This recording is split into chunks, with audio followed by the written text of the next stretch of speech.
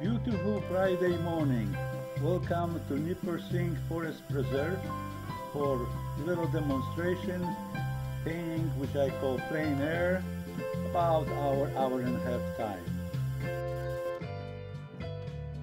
My palette for today is usually there are two yellows, two reds, two blues and of course titanium white. At the beginning I try to quickly establish composition and get rid of the white of the canvas.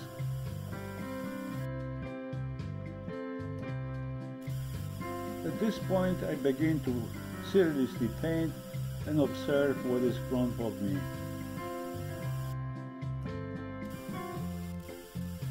You will notice how light is changing so fast.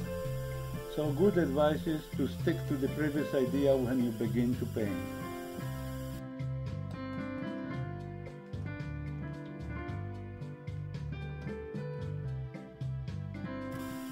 So at this point, I will be slowly finishing up because light is changing very dramatically.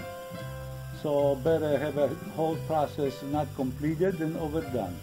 You can always making some touch-ups at the studio. Hopefully you enjoyed this short demonstration and as always, thank you for watching.